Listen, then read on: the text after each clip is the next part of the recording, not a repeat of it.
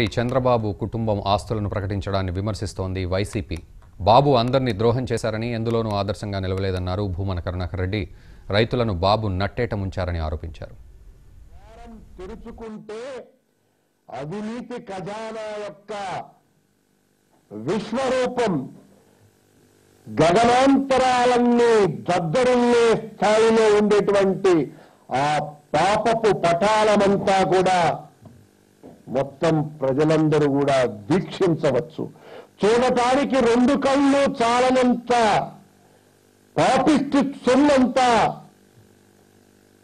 కొండల వలె గుట్టల వలె పర్వతాల వలె హిమవన్ నగము కూడా మరుగుజ్జులాగా కనపడే విధంగా ఆ పాపపు సొమ్మంతా ఆ గుహలో కూరుకుపోయి ఉంటుంది.